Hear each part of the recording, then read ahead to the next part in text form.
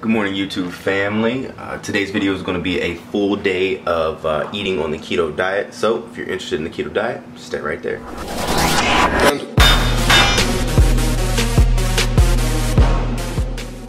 Alright guys, so for my first meal of the day, I had to try something new. I found a YouTube channel, they're called, um, what is it, Mind Over Munch.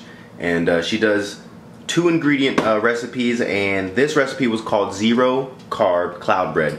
And this is what it looks like guys. I've never tried this before but it's like a it's like soft. I don't even know how to describe it but it, it tastes like a sweet uh, kind of salty sweet and salty kind of little snack. And um, it is comes out to be 20 grams of protein 22 fats and 3 carbs. So it's technically not zero carb. But the only reason it's not zero carb is because I used the wrong uh, cream cheese. So the ingredients in this were three eggs, two tablespoons of full fat cream cheese, which I used light cream cheese because I didn't have any. I didn't feel like going to the store. But yeah, I'm gonna go ahead and drizzle some of my chocolate Walden Farms on top. And I think this is gonna be delicious, guys. So uh, you guys should definitely check that channel out. So meal one, right here. We got this. Alright guys, so now it is time for meal number two. Uh, I went ahead and went to the grocery store and found these little diamonds in the rough. They're called Wings of Fire. Uh, I'm having three and a half servings right here. Uh, I've been cooking my own chicken wings and then just uh, letting them marinate, but then I figured out that, you know, just quick uh, for, for time efficiency, I went ahead and bought the ones that are already pre-made. So this is meal number two and it is 45 grams of fat, 49 grams of protein, and I believe nine carbs total. So that's meal two. I'm gonna go ahead and enjoy this. I'll see you guys. guys so we are in the car and we're on the way to get wifey from the airport. Uh, she lands at like 11:40 p.m. and it's about an hour, hour and a half drive to get there. So we had to make a little quick pick stop over here at. It is called a little sub shop. I don't know if you guys have this everywhere, but it's called Jimmy John's. Way better than Subway in my opinion. And they also make this thing called an unwich. No bread. So, we're here guys, get ourselves a gargantuan unwich. Whole bunch of shit on it. I'll show you guys what's on it in a second. Let me get up out of here.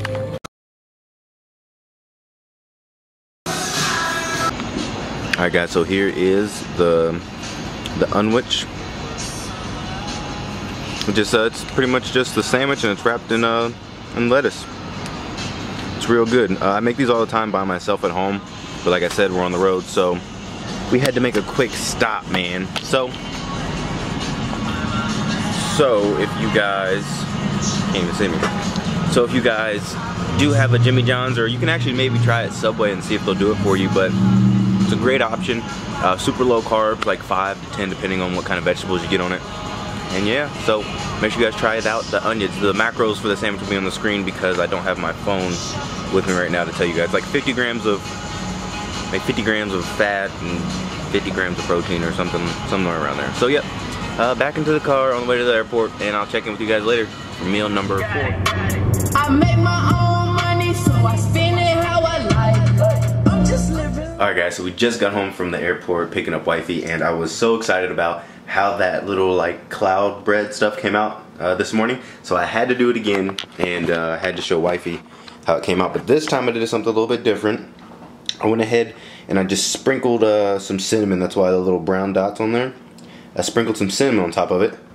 And wifey's, I guess, idea is that it tastes like pancakes. So I, I couldn't figure out what it really tastes like, but it's, like I said, it's kind of like a sweet, kind of like a salty, but it's not like overly sweet or salty.